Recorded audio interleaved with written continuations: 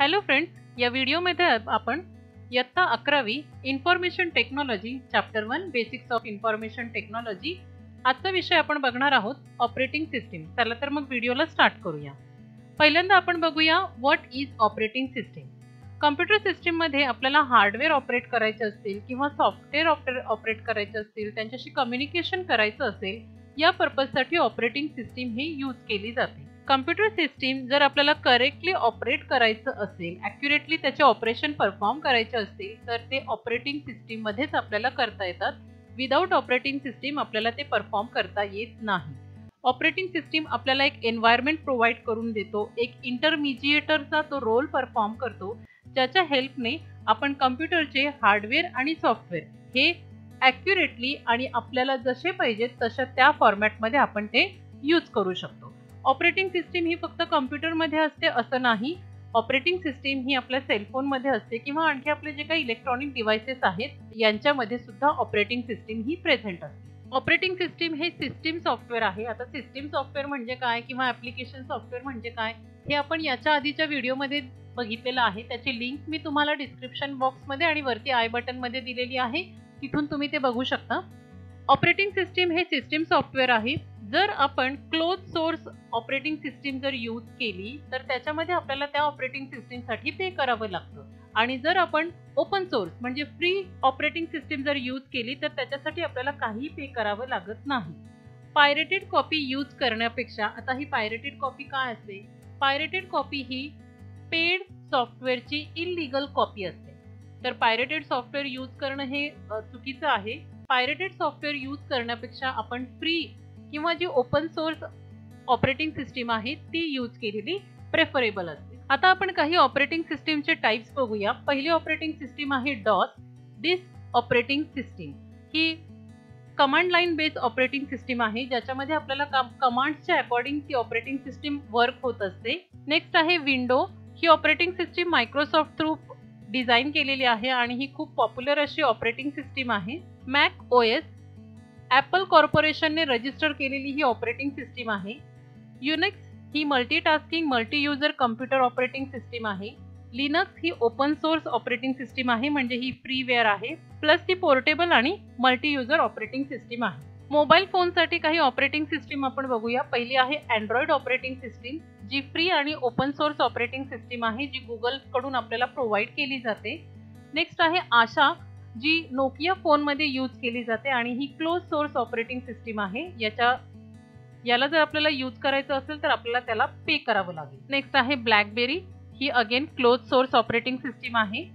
I O S ही ॲपलची close source operating system आहे जी स्पेसिफिकली ॲपलचे आयफोन आयपॉड टच आयपॅड आणि second generation Apple T V यांच्यामध्ये ती यूज केली जाते.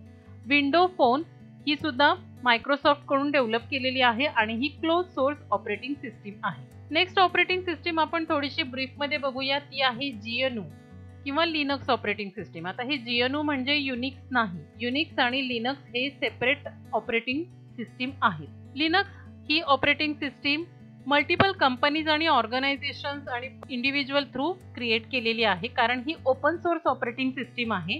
फ्री सॉफ्टवेअर फिलॉसॉफी याच्यामध्ये यूज केलेली आहे. आणि ही ओपन सोर्स असल्यामुळे फ्री ऑफ चार्ज आणि फ्री टू डिस्ट्रीब्यूट आहे. म्हणजे ज्याला जशी रिक्वायरमेंट असेल तो त्याच्यामध्ये इम्प्रूव्हमेंट मॉडिफिकेशन करू शकतो.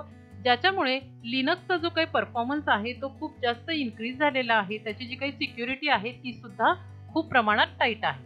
कम्प्युटर सिस्टीमला इंटरॅक्ट करण्याचे दोन मेन वेज आहेत. पहिला आहे graphical user interface G U I आणि दुसरा आहे C L I command line interface graphical user इंटरफेसमध्ये कम्प्युटरमध्ये आपण इंटरॅक्ट करताना आपल्यासमोर काही इमेजेस असतात काही आयकॉन्स डायलॉग बॉक्सेस प्रेझेंट असतात. ज्याच्यावर क्लिक करून आपण स्पेसिफिक टाईपचे ऑपरेशन हे परफॉर्म करू शकतो. सी एल आयमध्ये काय होतं? तर सी एल आय ही कमांड लाईन इंटरफेस असते ज्याच्यामध्ये ब्लॅक स्क्रीन आपल्यासमोर असते आणि आपण ज्या कमांड टाईप करतो ज्या टेक्स्ट फॉर्मॅटमध्ये असतात तसं तो ऑपरेट करत असतो. याच्यासाठी आपल्याला टेक्स्टचा सिंटॅक्स त्याची प्रॉपर माहिती असणे गरजेचं असतं.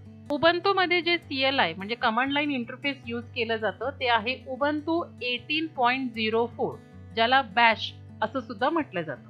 हे उबंतूचं डेस्कटॉप एन्व्हायरमेंट आहे ज्याच्यामध्ये आपण तुम्ही बघू शकता की हा जो लेफ्ट साईडला हा बार आहे हा ऍक्टिव्हिटीचा बार आहे ज्या ज्या ऍक्टिव्हिटी आपण यूज करतोय तर त्याची लिस्ट या ऍक्टिव्हिटी बारमध्ये शो होते. याच्या खाली हा ॲप मेनू आहे ज्याच्यामधून आपण जे ॲप्स आहेत वेगवेगळे दुसरे ॲप्लिकेशन्स आहेत ते आपण इथून सिलेक्ट करू शकतो. मिडलला हा जो बार आहे या बारवरती आपल्याला क्लॉक कॅलेंडर आणि जे काही नोटिफिकेशन्स असतील ते इथं शो होतात. आणि राईट साईडला कॉर्नरमध्ये हा जो मेनू आहे हा सिस्टीम मेनू आहे ज्याच्यामध्ये बॅटरीचा स्टेटस वायफाय किंवा इथरनेट कनेक्शन असेल तर त्याचं स्टेटस ब्राईटनेस व्हॉल्यूम हे जे काही सेटिंग आहेत ते आपल्याला सिस्टीम मेनूमधून शो होतात. हे उबंतूचं डेस्कटॉप एन्व्हायरमेंट आहे. डॅशबोर्ड जर बघितला तर डॅशबोर्डमध्ये आपल्याला अशा टाईपचं ॲप्लिकेशन्स हे व्ह्यू होतात.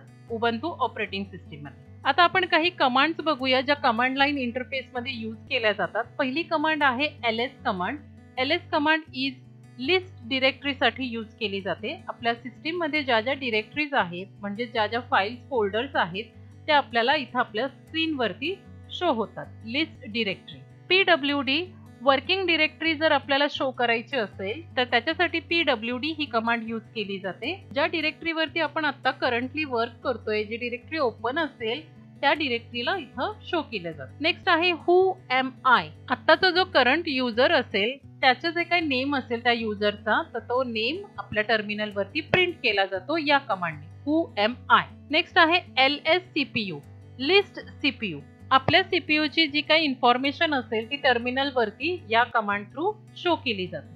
नेक्स्ट आहे टच टच कमांडने न्यू फाईल क्रिएट केली जाते. टच आणि त्याच्यानंतर file name dot T X हे त्याचं एक्सटेन्शन आहे. नेक्स्ट आहे C D command it use for change directory एका डिरेक्टरीमधून आपल्याला जर कंट्रोल दुसऱ्या डिरेक्टरीला स्विच करायचं असेल तर त्या केसमध्ये सी डी कमांड ही यूज केली जाते. नेक्स्ट आहे नॅनो कमांड नॅनो हा एक टेक्स्ट एडिटर आहे. जर आपल्या फाईलला आपल्याला टेक्स्ट एडिटर एडिट करायचं असेल तर त्या केसमध्ये ही कमांड यूज केली जाते. Nano file name dot T X T अशी जर कमांड आपण तिथं यूज केली तर file name dot T X T अशा नावाची फाईल ही क्रिएट होते. जर ऑलरेडी ती क्रिएट असेल तर ती ओपन होते. आणि त्याच्यामध्ये आपण आपलं जे काही टेक्स्ट एडिटिंग आहे ते आपण तिथं करू शकतो. ती फाईल सेव्ह करण्यासाठी आपल्याला कमांड प्रेस करावी लागते control plus O plus enter या कमांडने ती फाईल सेव्ह होते. कंट्रोल एक्सने आपण या नॅनो एडिटरमधून एक्झिट होऊ शकतो. नेक्स्ट कमांड आहे कॅट कॉन्कॅटिनेशनसाठी ही कमांड यूज केली जाते. कॉन्कॅटिनेशन म्हणजे कॉम्बिनेशन कंबाईन करणे.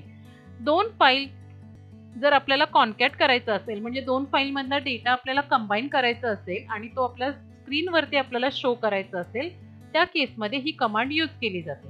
जसं इथं एक्झाम्पल आहे cat file one dot T H T file two dot T H T file one मधला डेटा प्लस फाईल टू मधला डेटा हे दोन्ही डेटा कंबाईनली आपल्या स्क्रीनवरती शो होतात युझिंग दिस कमांड नेक्स्ट आहे इको कमांड ही बिल्ट इन कमांड आहे ज्याच्या हेल्पने जे आर्ग्युमेंट आपण या इको कमांडला पास करतोय त्याचं स्ट्रिंग किंवा टेक्स्ट हा तिथं डिस्प्ले करतो. For example echo dash dash help next आहे क्लिअर कमांड प्रॉम्प्ट आपला जो आहे कमांड लाईन प्रॉम्प्ट तो क्लिअर करण्यासाठी ही कमांड यूज केली जाते. तर या काही कमांड लाईन बेसच्या कमांड्स आहेत. फाईल सिस्टीम हायरार्ची बघूया आता. याच्यामध्ये टॉपमोस्ट डिरेक्टरीला रूट डिरेक्टरी असं म्हटलं जातं आणि ती स्लॅश या कमांडने ती शो केली जाते. त्याच्या अंडर असणाऱ्या सगळ्या डिरेक्टरी तिथं शो केल्या जातात using this command for example जर युजर एबीसी असेल आणि होम डिरेक्टरी ही क्रिएटेड असेल तर ती शो केली जाईल होम एबीसी होम ही आपली रूट डिरेक्टरी आहे आणि त्याच्या अंडर एबीसी हा युजर आहे. लिनक्स ऑपरेटिंग सिस्टीममध्ये जे काही आहे ते फाईलच्या फॉर्मॅटमध्ये शो केलं जातं. मग ते तुमचं कॅमेरा असेल स्टोरेज डिव्हाइस असेल मायक्रोफोन असेल नेटवर्क डिव्हायसेस असतील ऑल थिंग्स आर फाईलच्या फॉर्मॅटमध्ये रिप्रेझेंट केले जातात. आता थोडक्यात आपण फाईल सिस्टीम बघूया. फाईल सिस्टीममध्ये स्लॅश जो आहे तो रूट डिरेक्टरीसाठी यूज केला जातो. स्लॅश बिन जे आपल्याला रिक्वायर्ड सिस्टीम प्रोग्राम्स आहेत ते या फाईलमध्ये स्टोअर केले जातात. स्लॅश ड्यू जे डिव्हायसेस आपल्या कम्प्युटर सिस्टीमला कनेक्टेड आहेत त्याची फाईल या फाईलमध्ये स्टोअर केली जाते.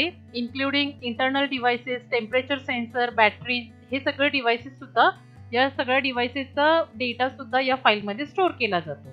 Slash E T C system configuration files are stored here ज्या कॉन्फिगरेशनच्या फाईल्स आहेत सिस्टीम कॉन्फिगरेशनच्या फाईल्स ज्या आहेत त्या इथं स्टोअर केल्या जातात. स्लॅश स्ट्रोक या फाईल्स आपल्याला प्रोसेसची इन्फॉर्मेशन प्रोव्हाइड करतात. फॉर एक्झाम्पल जसं रॅम किती फ्री आहे आपली सी पी ओ किती फास्टली रन करतोय या ज्या आपल्या सिस्टीमच्या प्रोसेसेस आहेत याच्याशी रिलेटेड इन्फॉर्मेशन तो इथं प्रोव्हाइड करतोय. Slash T M P temporary file याच्यामध्ये स्टोअर केल्या जातात. युजरची होम डिरेक्टरी इथं सेव्ह केली जाते. नेक्स्ट पॉईंट आपण बघूया की आपण लिनक्स का यूज करायचं आणि का शिकायचं. तर याचे काही फीचर्स आपण बघूया. पहिला आहे Linux is free and open source operating system आणि लिनक्स जी ऑपरेटिंग सिस्टीम आहे ती free from viruses easy to keep all the software up to date जे काही सॉफ्टवेअर याच्यामध्ये आहे ते आपण अप टू डेट ठेवू शकतो. प्लस लिनक्स जे आहे ते फ्लेक्झिबल आहे आणि इझिली कस्टमायझेबल आहे. जशी आपली रिक्वायरमेंट असेल तसं आपण युजर त्याच्यामध्ये चेंजेस हे परफॉर्म करू शकतो. आणि याच्या थ्रू आपल्याला एक्सिलंट सपोर्ट हा मिळत असतो. या सगळ्या कारणामुळे आपण लिनक्स ऑपरेटिंग सिस्टीम ही शिकायची पण आहे आणि यूज पण करायची आहे. असेच आणखी टॉपिक आपण नेक्स्ट व्हिडिओमध्ये आपण कव्हर करूया. आमच्या चॅनलसोबत राहा. थँक्यू